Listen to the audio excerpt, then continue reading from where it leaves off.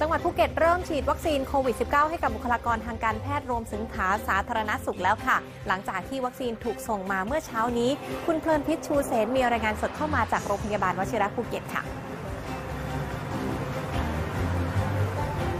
คุณสุธิดาคะขณะนี้ที่โรงพยาบาลวชิระภูเก็ตยังอยู่ระหว่างการฉีดวัคซีนโควิด -19 ให้กับบุคลากรทางการแพทย์และเจ้าหน้าที่ด่านหน้าของโรงพยาบาลค่ะ โดยผู้ที่ประเดิมฉีดวัคซีนเข็มแรก และเป็นคนแรกของภูเก็ตในวันนี้ เป็นคุณหมอผู้เชี่ยวชาญด้านหูคอจมูกของโรงพยาบาลวชิระภูเก็ตค่ะ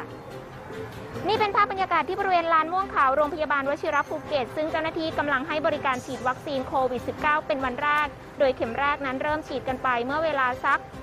ชั่วโมงที่ผ่านมาค่ะ โดยผู้ที่ได้รับการฉีดวัคซีนซิโนแวคเข็มแรก และถือเป็นคนแรกของจังหวัดภูเก็ต คือนายแพทย์สวัสดิ์ชัย นวกิจรังสรรค์ แพทย์ผู้เชี่ยวชาญด้านหูคอจมูกของโรงพยาบาลวชิรภูเก็ตหลังจากการฉีดแล้วคุณหมอก็บอกว่ารู้สึกเจ็บบริเวณแขนเพียงเล็กน้อยเท่านั้นนะคะ นอกจากนั้นอาการโดยรวมก็เป็นไปด้วยความเรียบร้อย แต่ยอมรับค่ะว่าก่อนฉีดก็รู้สึกตื่นเต้นบ้าง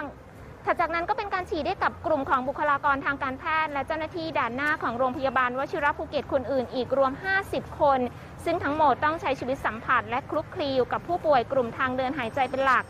ทั้งนี้การฉีดวัคซีนในวันนี้ผู้เข้ารับการฉีดวัคซีนโควิด -19 ทุกคนต้องปฏิบัติตามกฎข้อกำหนด ที่ได้มีการซักซ้อมกันไว้ก่อนหน้านี้ ซึ่งมีทั้งหมด 8 ขั้นตอนด้วยกันค่ะ เริ่มตั้งแต่การเข้าสู่การลงทะเบียน ชั่งน้ำหนัก วัดความดันโลหิต ซักประวัติ ประเมินความเสี่ยง จากนั้นผู้รับวัคซีนจะต้องลงนามในใบยินยอมรับวัคซีน จึงจะสามารถฉีดวัคซีนได้ค่ะ หลังฉีดจะต้องพักสังเกตอาการ 30 นาที และสแกน Line Official Account หมอพร้อม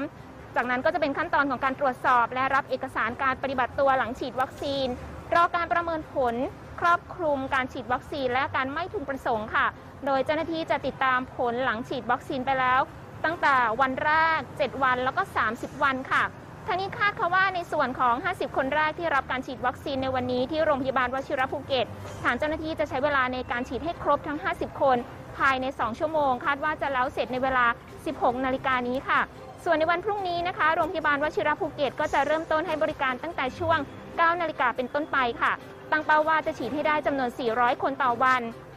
นอกจากนั้นนะคะก็จะมีการจัดส่งวัคซีนโควิด 19 ไปให้ยังโรงพยาบาลอื่นๆในภูเก็ตทำการฉีด ให้กับบุคลากรในโรงพยาบาลให้ครบ 4,000 โดส ภายในวันศุกร์นี้ด้วยค่ะ